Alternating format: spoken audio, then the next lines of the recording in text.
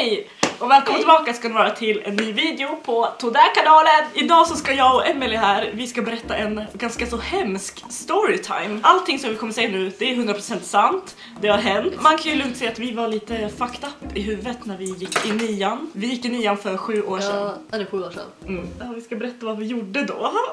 Ja. Jag bytte skola i nian så att jag hamnade i Emelies klass och då liksom märkte vi båda att vi är lite så här konstiga. Sommarlovet efter nian, då gjorde vi lite grejer. Ja, Ja, kort sagt så var vi typ kriminella. storytimen är slut. Hur ska vi börja? Ja, hur ska vi börja det här? Okej, men alltså det börjar med att... Vi hade tråkigt. Ja, nej men grejen var att vi började väl med, jag vet inte riktigt hur det började men det var ju bara... Vi vill prova det här Och vad var det där? Och klottra. vi vill prova och klottra och vara lite busiga. Men hur ska vi få ta, hur ska vi göra det? Alltså det var inte grejen att vi ville så här, klottra, vi ville Nej, liksom inte bara- förstöra väggar utan vi ville liksom bara testa att måla med sprayburkar liksom. Så vi köpte ett par sprayburkar och sen så var vi dumma i huvudet så att man kan ju liksom köpa en jävla plywoodskiva och måla liksom hemma, sätta upp en plywood. Det gjorde inte vi. Vi åkte till våra gamla skola. Ja, vi åkte och klottrade ner våran skola.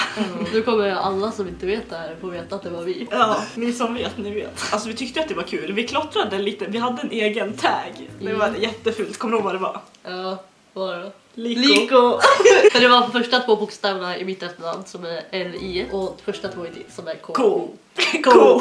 Vi stod liksom bredvid varandra och bara klottrade liko på väggar och det var ju inte så att vi gjorde det på en vägg på skolan utan vi gjorde det, vi gick runt i hela skolan. Jag vet att på matsalsdörren så skrev jag tam och sen ett streck, alltså en pil under så att Så det blir mat. Jag gjorde en, en glad gubbe vid entrén. Det här var som sagt sju år sedan, kom ihåg det? Vi skulle inte göra det här nu. Eller? Nej! Alltså det här var ju på kvällen, klockan var kanske 10 eller någonting. Och vi hade verkligen så här, vi var typ, vi visste att det var fel för vi hade så här klätt oss i svarta kläder. För att Nu är det ju ändå, det här var ju ändå på sommaren så det var ju fortfarande ljust ute. Det var lite ljust. Ja. Och vi hade ju svarta kläder på oss för att vi tänkte att vi ska se lite så här konstigt ut. Vi hade hört att kriminella har svarta kläder så att ja. Så liksom det är ju bara sjukt att liksom vi åker ut och bara gör det här. Men nu kommer vi till det som verkligen är så här fucked up. Det Så- som fuckade allt Ja. alltså.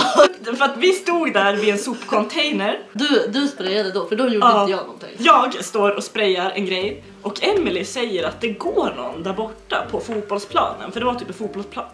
Så då- så du bara hallå det går någon där borta. Jag bara ja han går bara ut med sin hund. Ja, alltså spelar ja. roll. Du bara man kan du sluta spraya? Alltså nej, hallå, han går bara ut med sin hund så jag fortsatte liksom. Och då ser vi så att han kommer mot oss. Han vänder bort från sin promenadgrej och bara går mot oss. Han, var, han kommer ju fram till oss sen. Ja. Och då kommer jag ihåg, han sa liksom Bara, Jaha, ni är två tjejer ute så här sent. alltså så här. Vad gör ni liksom? Ja, vad gör ni då? Typ. Ja. Och vi bara eh, hehehe.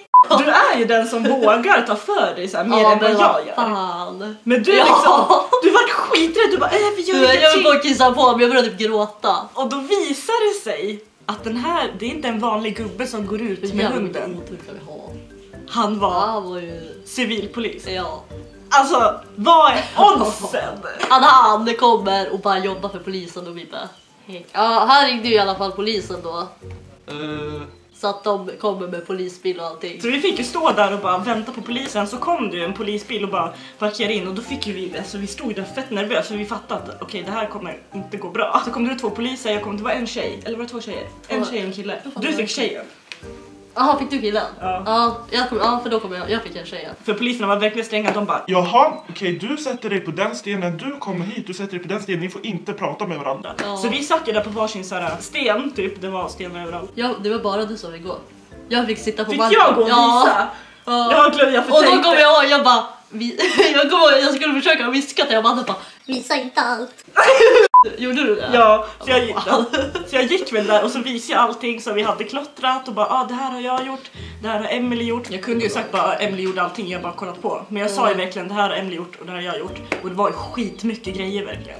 ja. Jag hade ju skitmycket färger också, typ 14 färger så vi hade gjort värsta målningen alltså. Det roliga du har ju alltid varit bra på att måla och rita och så. Jag kan inte. Så min, min glada gubbe, det var typ det finaste jag gjorde. Det var ju därför vi klottrade, för att vi ville liksom testa på hur det Ja. är att spraya med en burk. Ja, men typ. Men då kommer jag tillbaka då och då ser jag Emily sitta på stenen och så här, verkligen här bara Fuck my life! Ja.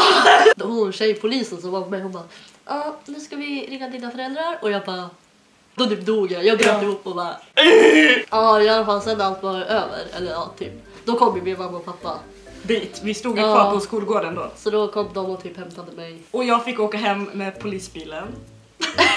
det är ju fan ändå det värsta typ på hela Jag fick sitta där i en jävla polisbil med två poliser och sen så kom vi hem, alltså polisen rullade in på min gård liksom alla liksom. Alla nu bara fattade typ och Ja, bara, "Åh, så kommer jävlar." jag ut där och polisen och de höll i mig liksom så här.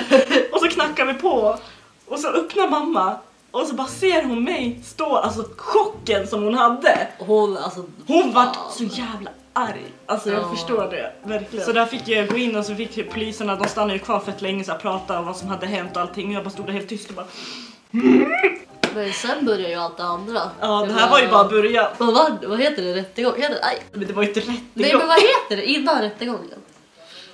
Vi fick ju förbud att träffa varandra. Ja. Vi fick inte träffa varandra mer. Ja. Det var verkligen, vi gick i nian, hur gamla är man då? 15. 15. 15, vi var 16. 15 år, vi fick inte träffa varandra, vi bara hade nyss blivit bästa vänner. Ja. Fuck! Vi visste att vi skulle gå på förhör. Alltså jag kände så här, jag, jag ville ju träffa dig för att jag ville ju veta vad du skulle säga. Ja, och jag om ville du, veta. ja, om du skulle säga att det var jag eller så här, hur, hur Ja, du skulle precis. Vi skulle typ planera vad du skulle säga. Så vi planerade möten på Donken.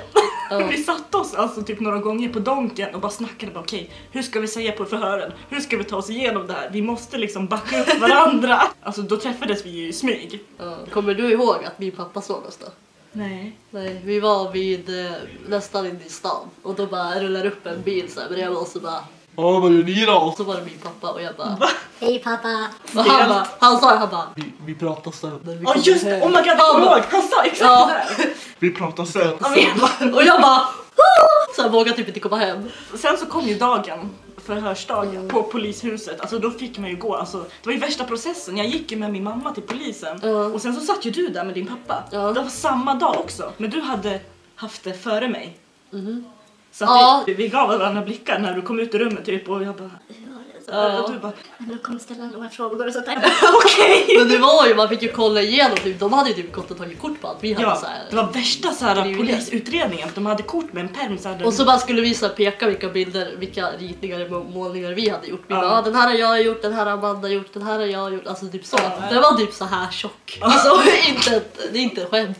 Och så ställde de lite frågor och jag kommer inte ihåg men det var typ man fick fylla i massa grejer och så verkligen lutade de sig över bordet och bara Det är väldigt ovanligt att tjejer gör sånt här, förstår du Mm. det? Hur gick tankegången? Hade, alltså hade det varit jag nu, då hade jag bara, det för vi är tjejer? Tjejer ska också kunna vara kriminella! ja men typ. Men då, då var jag så jävla rädd så jag bara, Jaha. Den här förhörsdelen tog ju slut och eh, allting var lite lugnt. Vi väntade på våran dom, så här, Ja. hur mycket skadestånd vi skulle få. Alltså för det här var ju verkligen, jag hade ju förstört skolan liksom. Ja. Och då kom vi ju till dagen då vi fick reda på vad straffet skulle bli. Och det blev livstidsfängelse. ja. Vi, är ute på permission nu bara. Ska tillbaka sen. Jag har fotboja du vet! Säg vad vi fick för straff. Vi skulle be rektorn om ursäkt. Det var det. Den dåvarande rektorn.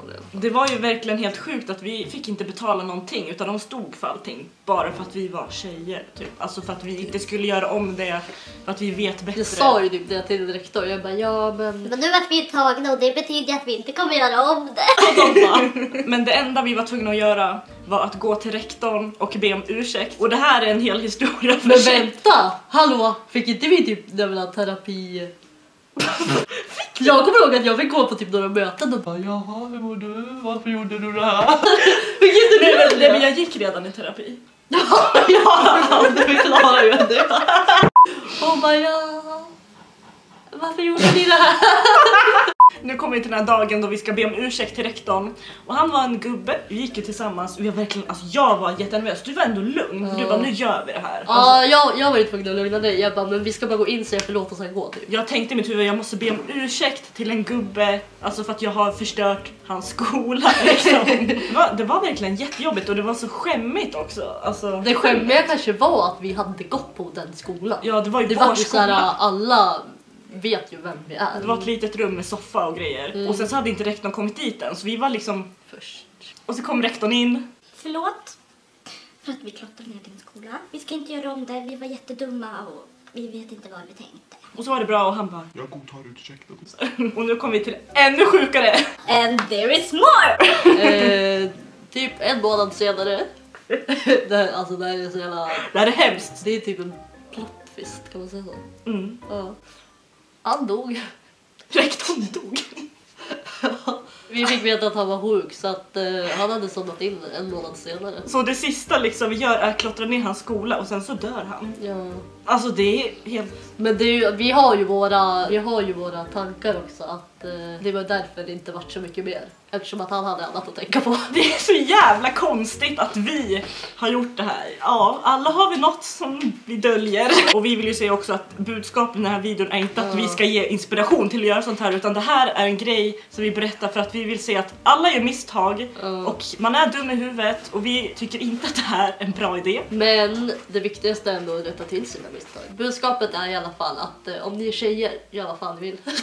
Nej, på riktigt alltså, gör inte sådana saker för att det är fan, det är inte värt det. Det För vi mådde så det. sjukt dåligt efter det. Alltså det var hemskaste tiden. Energin gick åt att tänka över vad som skulle hända. Ja, för att vi trodde att verkligen, vi fick ju prick i registret och grejer. Ja, det fick vi. Men den är ju kvar i tre år eller? Ja, så nu är den ju borta för det här var ju sju år sedan liksom. Men Så det är inte eh, värt det, alltså man ska tänka på konsekvenserna för det gjorde inte vi. Nej, det gjorde vi inte.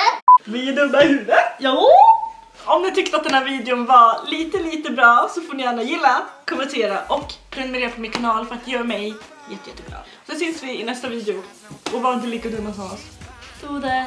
Tode! Tode hode!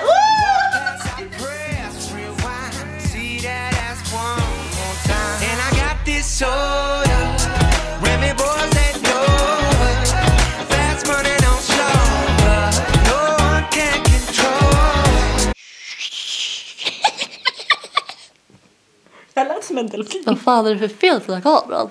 Vadå? Hej.